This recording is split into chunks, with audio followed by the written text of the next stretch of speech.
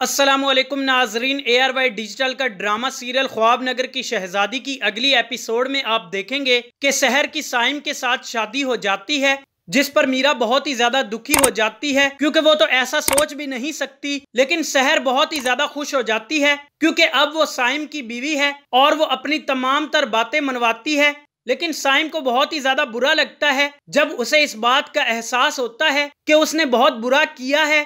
मीरा के साथ। मजीद दोस्तों, आप ये भी देखेंगे कि समन और उसकी माँ मीरा को हौसला देते हैं और उसे समझाते हैं कि हम तुम्हारे साथ हैं, तुम्हें परेशान नहीं होना चाहिए। जिसके बाद मीरा कहती है कि अब मैंने फैसला कर लिया है कि अब मैं मजीद साइम के साथ नहीं रहूँगी। तो इधर दूसरी तरफ़ जब साइम की माँ को पता चलता है कि साइम ने शादी कर ली है तो उसे बहुत ही ज़्यादा गुस्सा आता है और वो शहर से कहती है ये सब कुछ तुम्हारी वजह से हुआ है। इन सब चीज़ों के लिए तुम ही जिम्मेदार हो और तुम इस घर में नहीं रहोगी, जिस पर शहर कहती है कि ऐसा नहीं हो सकता।